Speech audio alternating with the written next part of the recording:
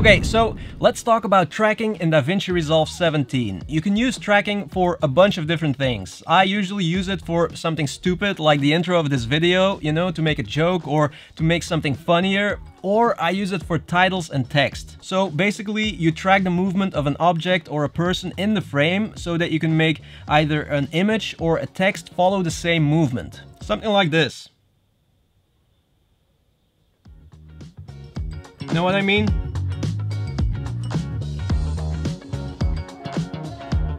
That's enough, right?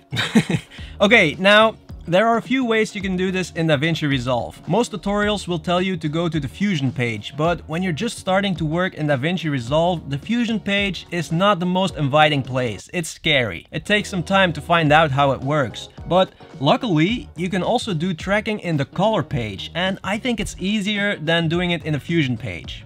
I mean, you'll just have to try it out for yourself, but I think it's easier. Now, one thing you should know before you start tracking is that how well the tracking works depends on your footage. The method that I'm gonna show you is rather simple, so it works best when there's a nice contrast between the object you're tracking and the background.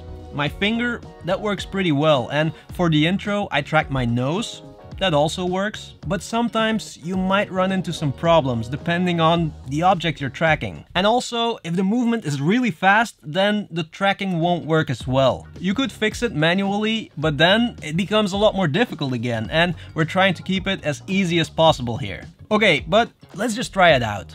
Okay, so let's track the movement of my finger again. First, you have to decide where you want the tracking to start and end, and that's where you cut the clip. So I want the tracking to start right here, cut, and end here, cut.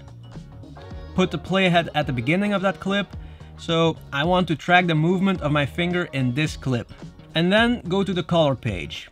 Double check that the correct clip is selected here. If you can't see the clips, you can make them appear with this button at the top. Then go to the tracker, double check that the playhead is at the beginning of the clip and now put these settings. Here, stabilizer. Here, select classic stabilizer. And down here, point tracker. Okay, now we have to add a tracking point. That's this icon down here. And you put the tracking point, the red cross, over the object you want to track. Okay, so I want to track my fingertip. But there's a problem, because I've tried it a few times and it did it pretty well most of the times, but sometimes the tracker got lost.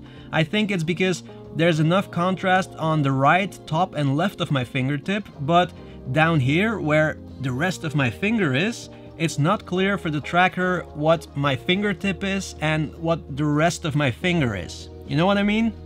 And sometimes, by the end of the tracking, the tracker got lost. It ended up too low.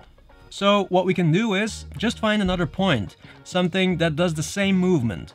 This right here, my thumb, has more contrast because of the shadows and it does exactly the same movement as my fingertip, so I'm going to use that as a tracking point. And remember, we're just tracking the movement here, so the tracking point is not going to decide the position, only the movement. So let's put the tracker over my thumb and then use this play button here to start tracking.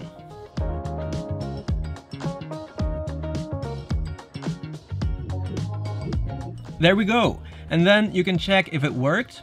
And it seems like it did. Now, if you're checking here and you see that at some point the tracker got lost, you go to that point with the playhead, move the tracking point back to where it should be, and then start the tracking again from the point where it got lost. And hopefully it will then do it right. Sometimes it does, sometimes it doesn't. Okay, so all we have to do now is copy the track data right here. And that's it. Now we have copied the movement of my finger. Let's go back to the edit page and this is now where we add an image or text. So I'll drop the image of the helmet. It's a PNG of course with a transparent background. I'll drop it on the timeline and make it the same length as the clip that I used for tracking. Then resize it and put it over my finger. And now, very important, convert the PNG into a compound clip. Also, if you use text, convert the text into a compound clip. Right click and then new compound clip. You can give it a name if you want, then OK and back to the color page. Then these settings again here stabilizer, here classic stabilizer, and then very, very important, disable zoom down here and set the strong value to minus 100. Otherwise it won't work.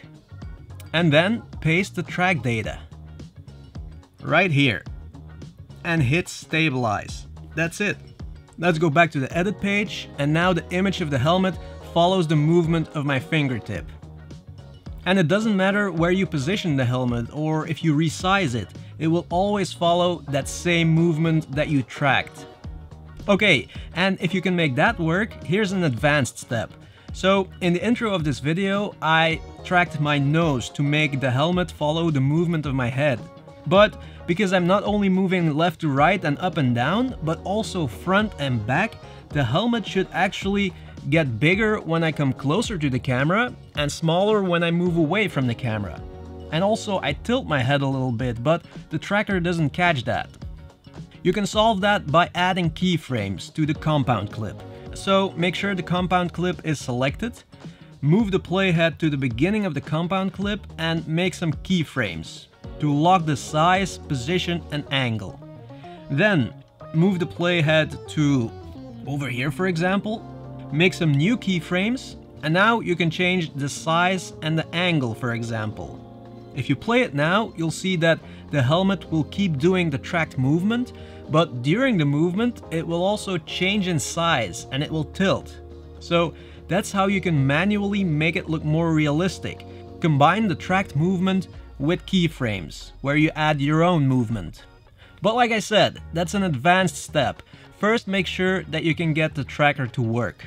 And there we go, that's it, a simple tracking effect. Now remember, make it as easy as possible for the tracker to track the object you want to track. Wait, does that make sense? Make it as easy as possible for the tracker to track the object you want to track. I think it makes sense. What I want to say is, just make sure that there's a nice contrast between the object, you know, your finger or whatever, and the background and everything around it. And then you should be able to create some cool effects even with this simple method. That's it. Thank you so much for watching. Subscribe if you haven't already. Like this video if you liked it. Duh. Thank you so much for watching. I already said that. Ah, oh, why am I so hyped up? It's Sunday. Calm down, Joris. Calm down. Mmm. Come say hello on Instagram maybe. And see you in the next one.